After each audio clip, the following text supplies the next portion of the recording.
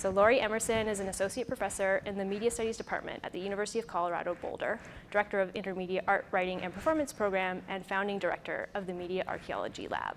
Um, in uh, this talk, Future Histories of Our Networks, Lori will discuss the surprising depth and breadth of wired and wireless networks that preceded the internet, many of which still exist today. Please welcome Lori.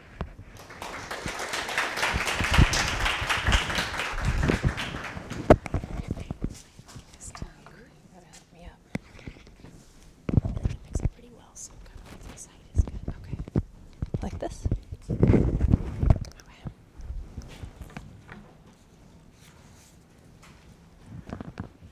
Hello, everybody. I am super happy, grateful, psyched to be here with a room full of like-minded people, and I'm really grateful to Don and all the organizers for the work that they've done.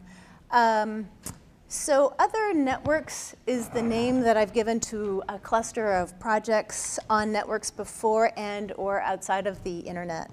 And I've been working on these uh, projects for some years, partly on my own and partly with Libi Striegl, who is the managing director of the Media Archaeology Lab that I also direct.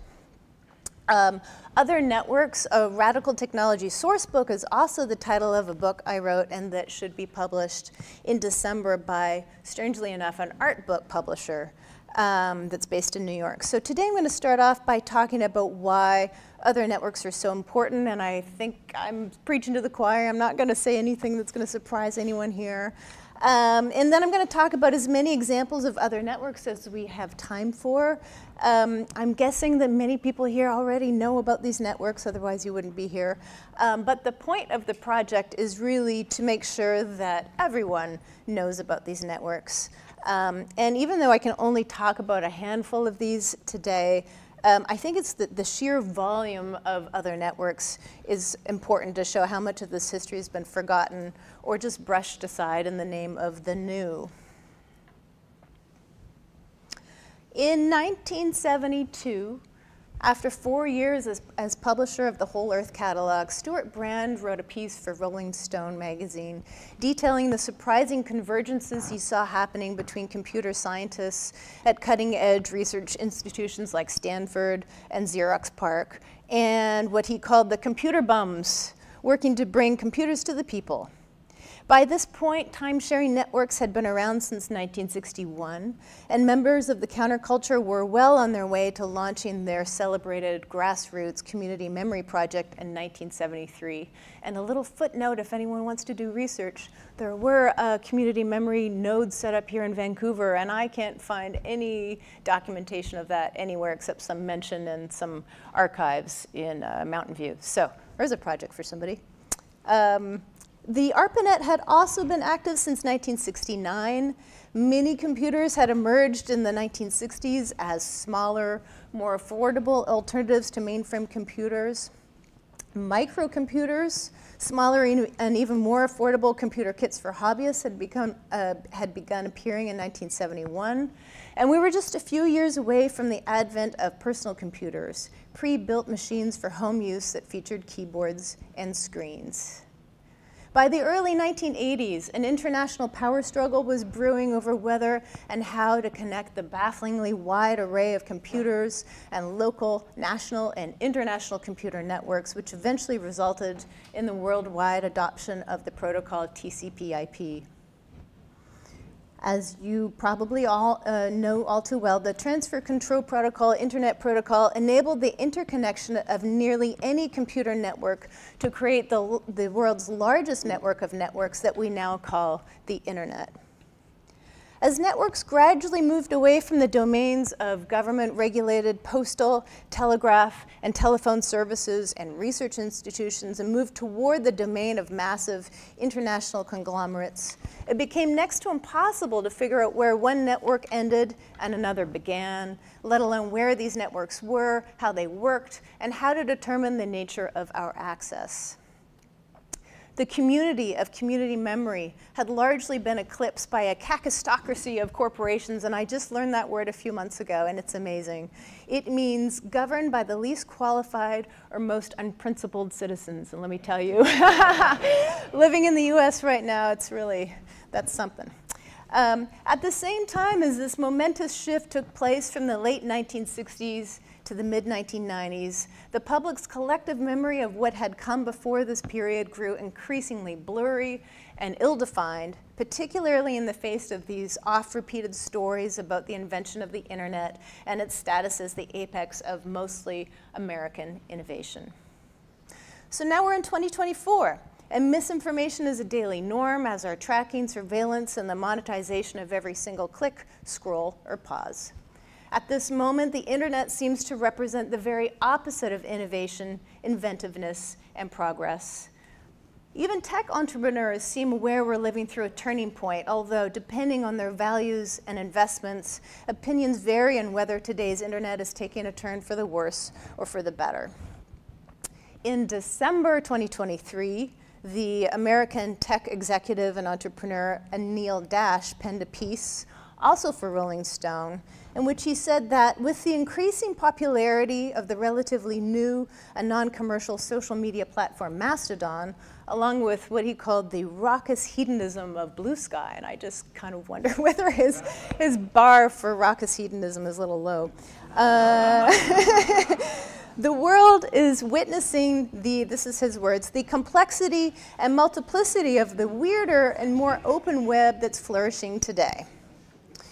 But despite the potential pleasures offered, offered by Mastodon and Bluesky, how weird can they really be if they all exist on the same infrastructures owned by the same multinational conglomerates and also all using the same protocol? Still, even though most internet platforms continue to push for the uh, centralization, conformism, and oppression that Felix Guattari observed in 1993, I think we are also witnessing a shift to what Guattari also observed, miniaturized systems that create the possibility of a collective appropriation of the media.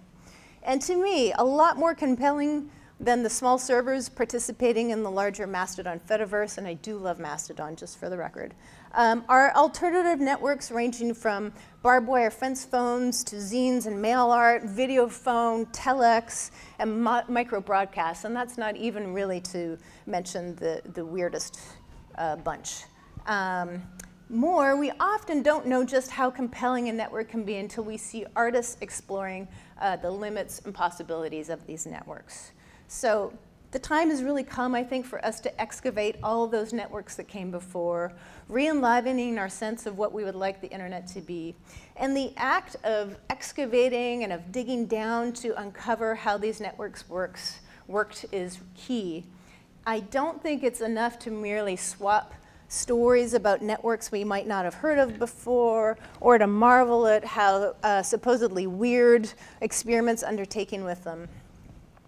In defiance of the culture of exclusivity and the cultivation of inaccessibility that's really defined telecommunications since the advent of amateur radio in the early 20th century, we need to demystify how networks work and get back to laying the groundwork for anyone to, say, try attaching analog telephones to barbed wire or try picking up a soldering iron to build a super simple FM radio transmitter.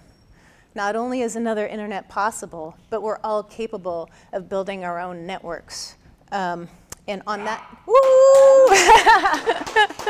on that note, um, Libi and I wrote this pamphlet. It's at the printer, and um, I brought a QR code. If you'd like to sign up to get a copy in the mail, we'll release a PDF sometime next month. And I would love everybody to build your own mini FM transmitter. So um, the excavation of these alternative networks is also important for giving us the tools to imagine how networks might be different. Based on past and present alternatives from all over the world, we can globalize and pluralize histories of the internet to empower people to reimagine the future of the internet as the future of networks. So on that note, I'd like to walk us through some of the networks I've mentioned so far. Um, my book is, you know, not surprisingly a little quirky. Um, it organizes networks according to their underlying infrastructure, not chronologically. So there is a big section on wireless networks, um, which includes drums, whistling, fire smoke signals, pneumatic tubes, skywriting, hydraulic semaphore, and so on and so forth.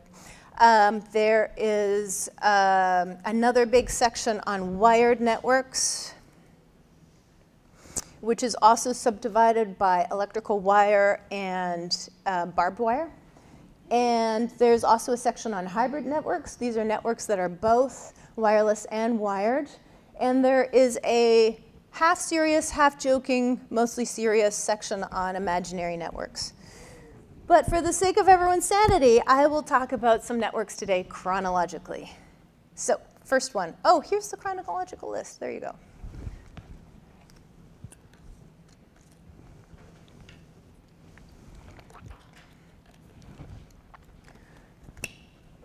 More, more networks. Uh, no, it's not out till December, but thank you for asking. Yeah, December 10th.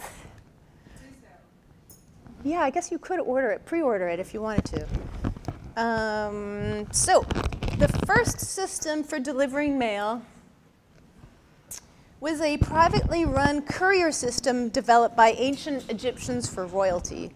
It consisted of horse-drawn chariots which would travel from the royal court to a series of relay stations and then on to the recipient.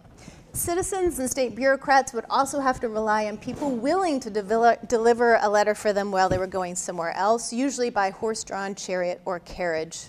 So it's worth noting that the use of animals for mail delivery is part and parcel of the history of the Postal Service. Um, while pigeons, camels, dogs, cats, varying degrees of success, uh, Donkeys and reindeer have all been used to facilitate uh, postal delivery. The use of horses has the longest history and it's the best known example. So this is a map of the Pony Express route. This is the most well known, but horses have been used to deliver mail since a very long time. Um, while numerous state-run postal services were developed since the time of ancient Egypt, it wasn't until the 19th century that most countries had national and international postal delivery systems in place for the delivery of letters, postcards, and parcels. By the 1970s, mail delivery had expanded to include electronic mail, sent via any number of networks, um, thereby introducing the now ubiquitous network for the exchange of digital communication and documents known as email. The best known artist experience with the postal system began in 1962 with artist Ray Johnson sending letters with the instruction, please add to and return to Ray Johnson, this uh, inaugurated the New York Correspondence School, which eventually evolved into the international movement known as mail art. Mail art, uh, sorry, mail artists were in a sense hackers. They needed to know uh, extensive details about packaging, uh, packaging rules, and they needed to be able to navigate or circumvent postal workers themselves who had to be tricked into delivering everything from rubber stamps to prints, lettering, banknotes, stickers, tickets, artist trading cards, badges, food packaging, diagrams, and maps. It's also worth noting that the postal system, at least at this time, was an accessible and largely democratic network, and anyone with access to a mailbox and stamps could participate. A fence phone also referred to as a barbed wire fence phone or a squirrel line, is the use of smooth wire running from a house to near, nearby barbed wire fencing to create an informal, ad hoc, cooperative, non-commercial, local telephone network. Two key developments happened in the 1890s that led to its adoption mostly by farmers, ranchers, uh, people living in rural or isolated areas, especially across the US and Canada.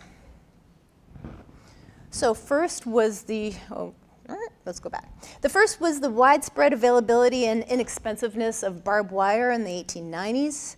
And the second thing was the erosion of Alexander Graham Bell's patent monopoly in 1893 and 1894, which led to the sudden explosion of about 80 to 90 independent telephone companies, uh, which were manufacturing telephone sets that could be used outside of the Bell telephone system. This sudden explosion of independent telephone companies also sent into motion the independent telephone movement led by everyday people who were mostly interested in obtaining greater community access to a basic utility. The independent phone companies also recognized that it was going to be too expensive to build lines in rural areas, and instead, they openly advised farm people to buy their own telephone equipment, build their own lines, and create cooperatives to bring phones to the countryside. In need of a practical way to overcome social isolation and communicate emergencies, weather, crop prices, um, ranchers and farmers started to take advantage of the growing ubiquity of both telephone sets and barbed wire fencing. And they would hook up telephones to wire strung from their homes to a nearby fence. Um, at the time, uh, telephones had their own battery, which produced a DC current that could carry a voice signal. Turning a crank on the phone would generate an AC current to produce a ring at the end of the line. Uh, someone named Bob Holmes describes the process. He says, hmm, the barbed wire networks had no central exchange, no operators, and no monthly bill. Instead of ringing through the exchange to a single address, every call made every phone on the system ring. Soon, each household had its own personal ringtone, but anyone could pick up. Talk was free, and so people soon began to hang out on the phone. The fence phone lines could also be used to broadcast urgent information to everyone on the line.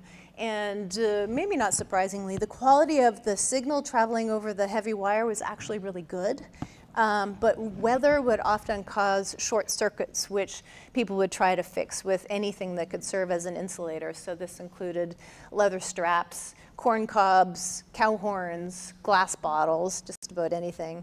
Um, anecdotally, fence phones were still being used throughout the 1970s in Texas. Oh, there's the advertisement for barbed wire. What's that? Yes, exactly. I was going to say something like that. Yeah, thank you. Um, in 2014, artists Phil Peters and David Reuter installed a barbed wire phone, fence phone in a gallery in Chicago. Their installation hung telephones they had found at thrift stores from a barbed wire fence. The phones were connected to the barbed wire with simple, simple copper wire and alligator clips, and visitors could communicate with each other over the phones. And in the month of September, if anyone wants to come to Boulder, on a whim, I asked my dean if she thought it would be a good idea to set up a barbed wire fence phone in one of the campus rooms, and she said, sure. So, um, yeah, for the month of September, if you want to come to Boulder and check out a functioning barbed wire fence phone, um, you should do that. Video phone. A video phone is a standalone device that allows for the two-way transmission of live images over coaxial cable or telephone wires. They often, but not always, uh, include audio. Uh, the term video phone largely came into being in the 1980s with the advent of affordable devices capable of two-way transmission. Um, these devices were essentially very low resolution televisions with built-in modems and cameras.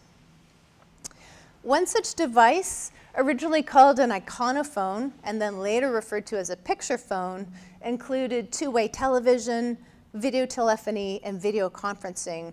Um, and so it's really the, uh, the original uh, of contemporary web uh, conferencing platforms.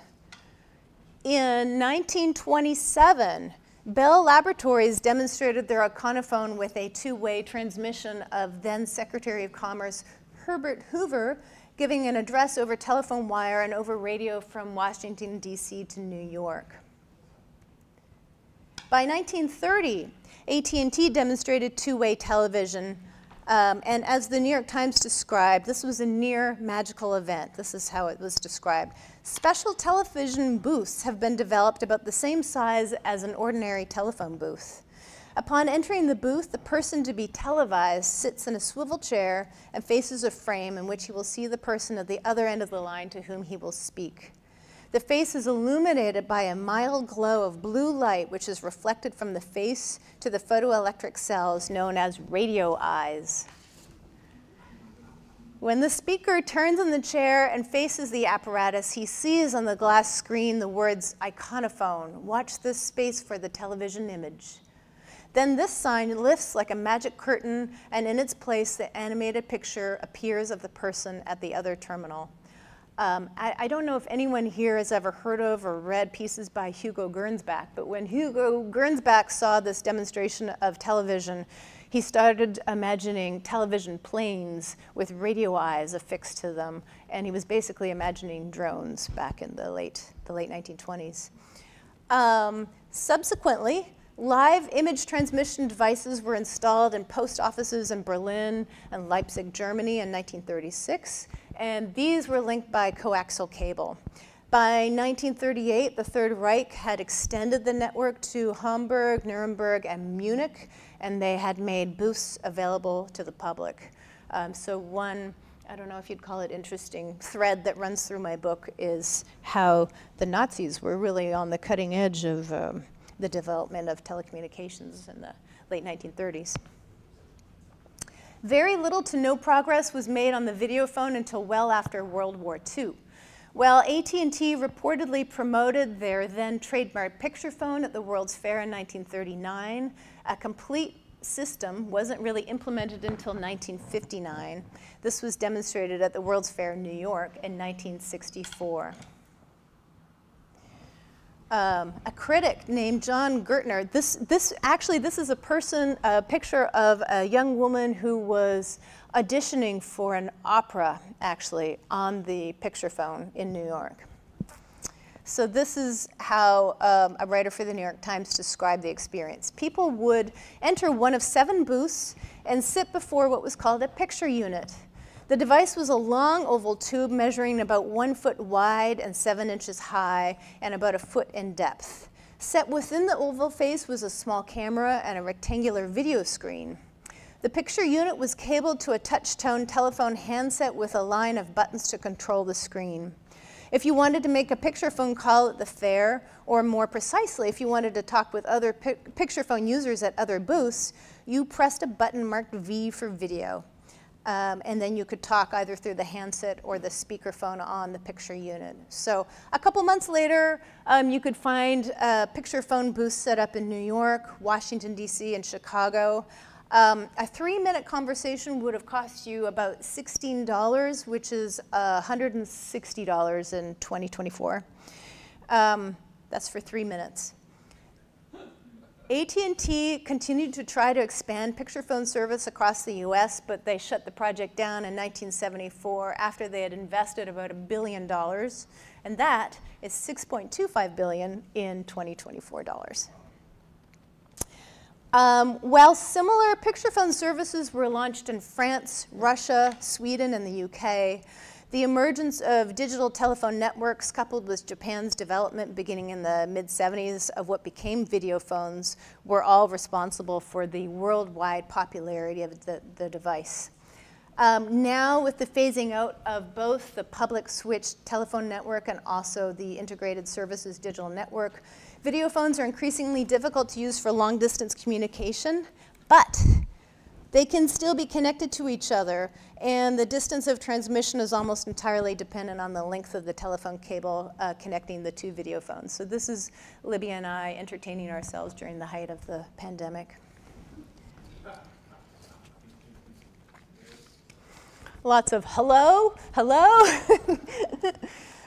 um, in terms of artists' experiments with video phones, in the summer of 1984, Kit Galloway and Sherrie Rabinowitz initiated an ambitious project called Electronic Cafe.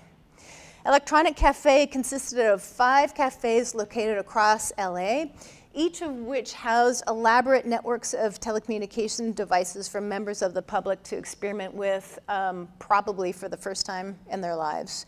So each setup included teleconferencing equipment, audio conferencing equipment, telephones, video cameras, monitors, video printers, slow scan TV transceivers, computer conferencing services, and databases. And at some point I came across a, a, a, their budget, and their budget was like, I don't know, it was like almost $200,000, and they got most of their funding from NSF and NASA, which I thought was interesting. Um, in 1987, Galloway and Rabinowitz then launched Electronic Cafe International, and this was a collection of about 60 nodes around the world that produced and participated in virtual events. The events relied heavily on video phones for the transmission of still images. Oh, I have a picture. There we go. Video phones were featured in numerous um, Electronic Cafe International events throughout 1991, and they included um, international link-ups with Timothy Leary, online meetings with children for some reason from the US, Japan, and South Africa, um, a video phone celebration of American composer Pauline Oliveros, which included 50 artists and about 20 sound and video technicians in six cities and three time zones. So this is a lot for 1991. In 1986, roughly at the same time, uh, Van Gogh TV was formed by artists and hackers from Austria and Germany.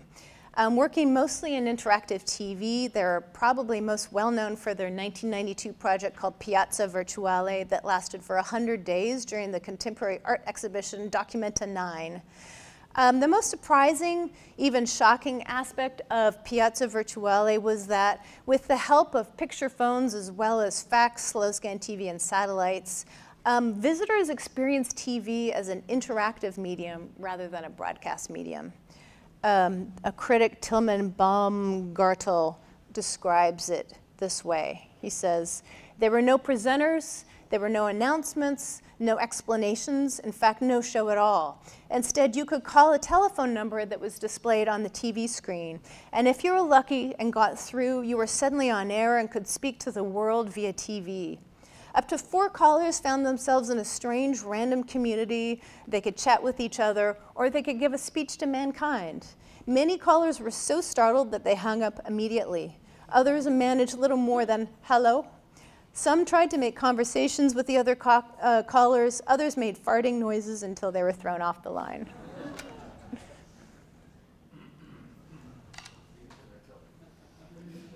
Telex. Telex is also known as telephone typewriter or teletypewriter service or TWX. Um, one of many things that made this project confusing is that telex can refer to the teleprinter machines, uh, can refer to the messages, the service, or the network of teleprinters that span the globe. Considered as a whole, um, telex is primarily for text-based communication and it uses the circuits of the public telephone switch uh, network and sometimes private lines.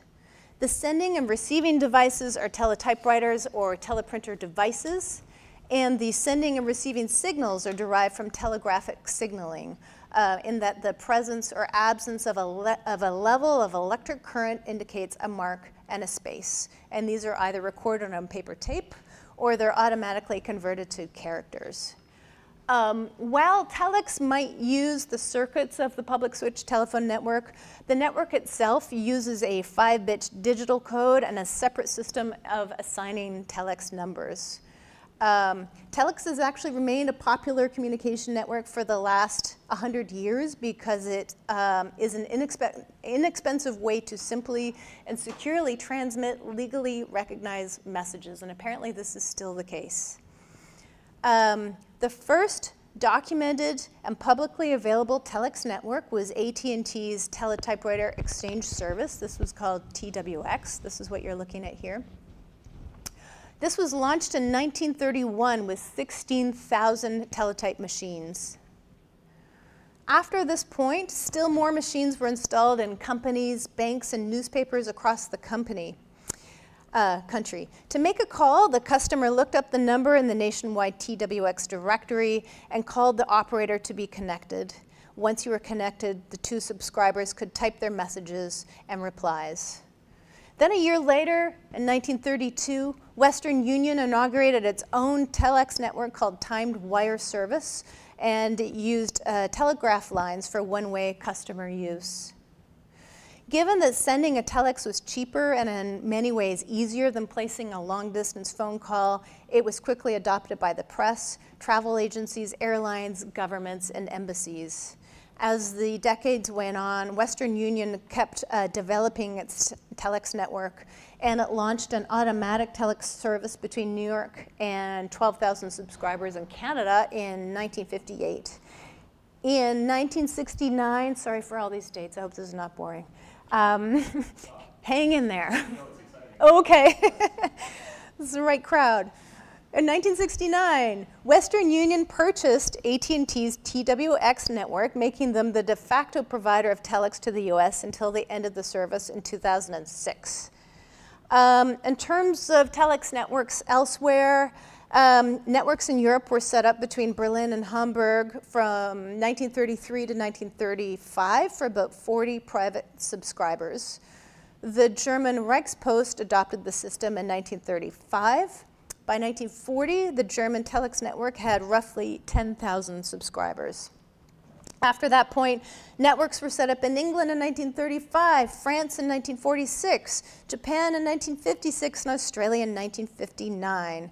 By 1970, telex was available between North America and Europe and most countries in the world.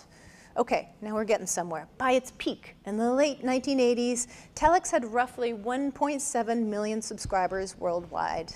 Um, it was eventually eclipsed by telefacsimile or fax and also computer-based uh, communication systems like email, but it's still being used today. Um, people have told me that uh, in the Balkans they use telex to send uh, telegrams to express condolences, like this year, people are doing that. Um, you can also use the service called International Telegram or iTelegram. You can find it online to send or receive telegrams around the world. Um, this company purchased the former Western Union Telex network. Um, and so I got a telegram for my birthday on this, on this network. Um, and they still say that um, people use these, this telex network for canceling contracts and sending legal notifications because a timestamped copy of the message is retained in their files for seven years and can be legally verified. All right, one of the best known instances of artists using telex for the production and distribution of art was the conceptual art collective called N.E. Thing Co., formed by Iain and Ingrid Baxter here in Vancouver in 1967. Until their breakup in 1978, the pair used N.E. Thing Co. as a way to appropriate the discourse of capitalism for artistic ends. Um, for them, the telex uh, symbolized corporate legitimacy and throughout the 60s and the 70s, it was also just a very deeply ingrained means for conducting business. So N.E. Thing Co. created many um, telex and telecopier works between 1968 and 1970. This is one of them that you're looking at. And they depict these uh, triangle-shaped networks of nodes across maps of Canada and the US, while the telexes themselves inscribed these shapes as they were transmitted from place to place.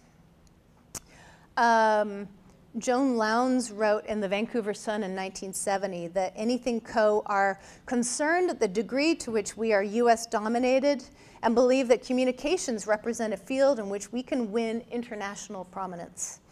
In other words, their appropriation of the telex was an attempt to intervene in the Canadian media communications landscape, which was and still is dominated by content from the US.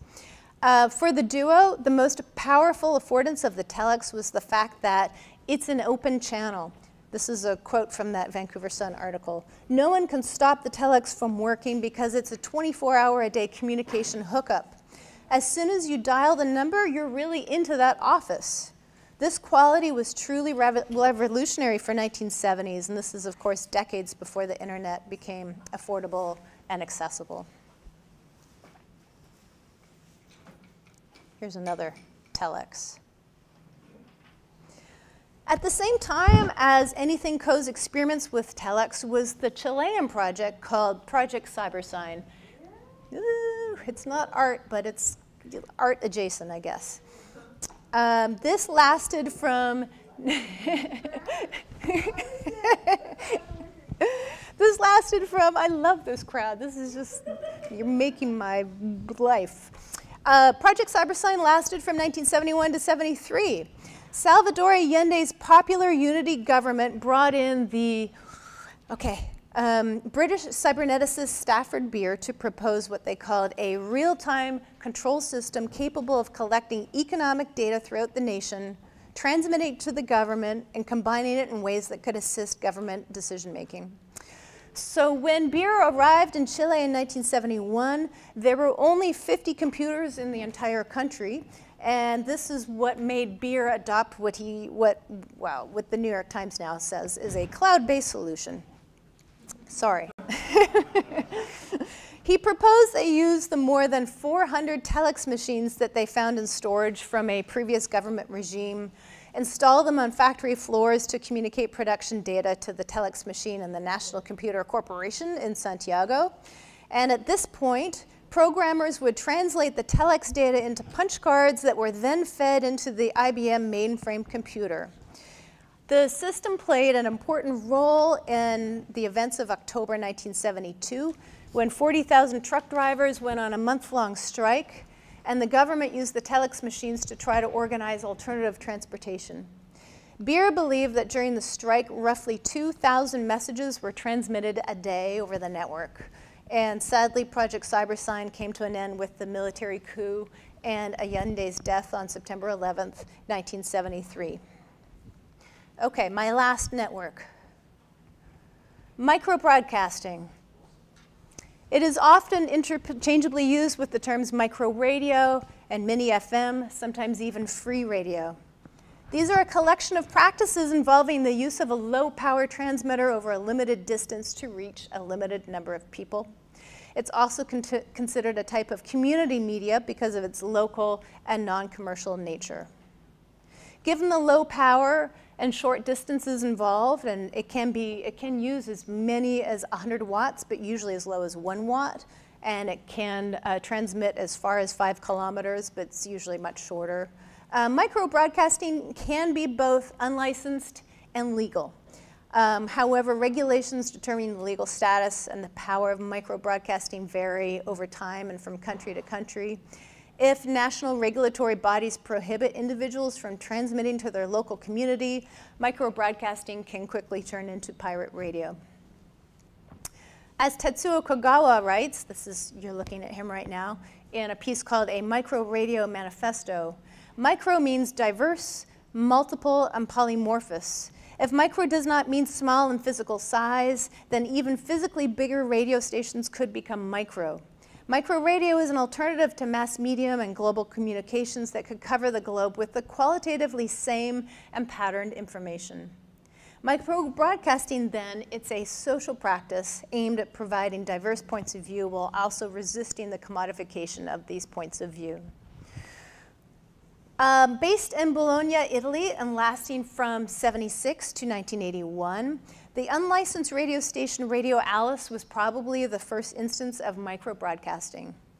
Even though it was referred to as free radio and it predated the emergence of the term micro-broadcasting, its main founders envisioned Radio Alice as a conscious micro-radio experiment that tried to distribute control of the airways across many small transmitters as a way to flatten hierarchies between sender and receiver, embrace localism, and use art to unsettle, if not unseat, capitalism.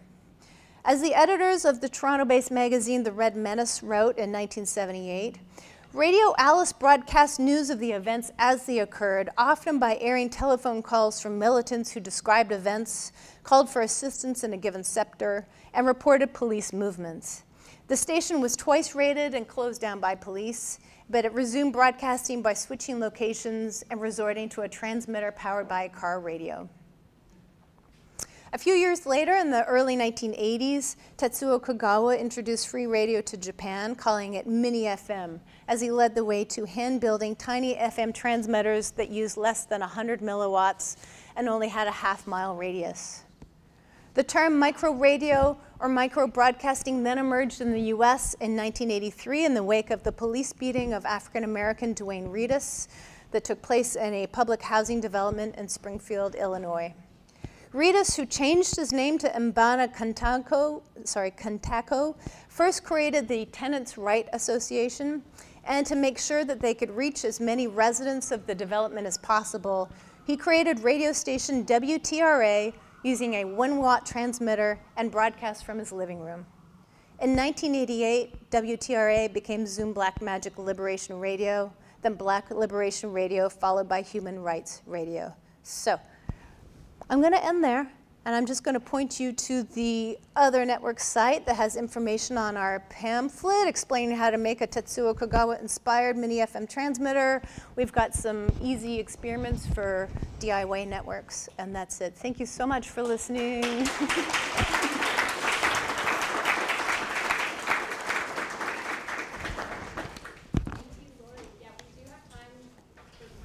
Sorry, I went long. Did I go long? I think I did. Okay.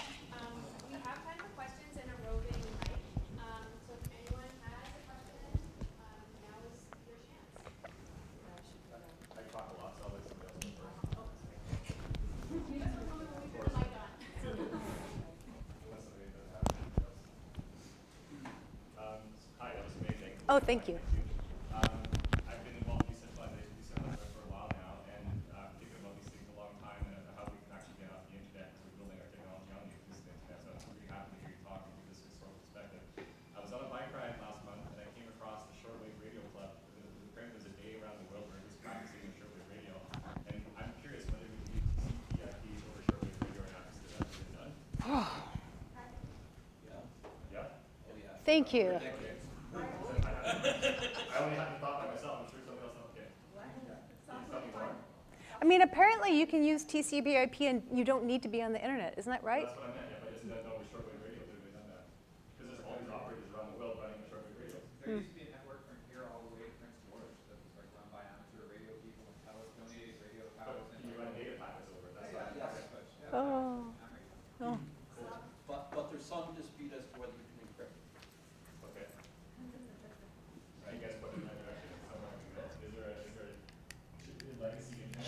Should I carry that? Yeah, packet radio, that's what you want to look at. Thank you. Packet radio. Soft, software-defined wireless packet radio. Radio. And then, and hem, and hem, but it's also, uh, you wanna look up the legalities of that. Well, I saw legalize it on the, on the poster there. I was even referring to like legally using shortwave, like using radio bands legally. Is that? Sorry, I, I, I'm having trouble hearing. I'll, I'll talk to you later. Okay, all right. Thank you for answering for me. I appreciate that, actually. Uh, thank you, Lori. That was amazing, and I think it's really important. And thank you so much for bringing together people who are interested in this. Um, my challenge that I've observed and um, is um, a phrase that I've been saying, and to keep saying it, is that uh, open source is no longer a radical act. Um, I've been using the phrase like dweb as maybe a placeholder for new movements. Um, and um, I'm, I'm looking at some notes from Bruce Sterling in 2009. And one of the things that um, he wrote um, was railroad natives were bored to death by people who explained railroads as if they were impressive. they're just there once they're there. And so I'd like to have your thought about how we um, reignite giving a shit. Mm. Wow. Ugh. I wish I knew. I think I think part of it though, and I oh thanks. I don't mean to. Oh, like I like Bruce Sterling and I like Cory Doctorow. These are all wonderful dudes. Um, but I think that could be some small part of the problem is that the, the, the, rhetoric and the feeling of empowerment and ability to actually do something always seems to like devolve to a small group of a very particular demographic. And I think me being the person that I am, I mean, I have a PhD in poetry for God's sake. And yet I figured this shit out. So I, I, I am trying to enact that for other people to make it seem possible. So I, I, I, bring English majors into the media archaeology lab and I cajole and I convince them that they can actually learn how electronics work and yeah, that this is for them too. Yeah.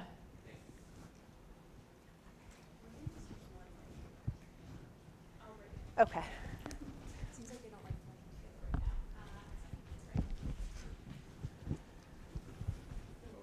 Oh, hi, my name's Michael.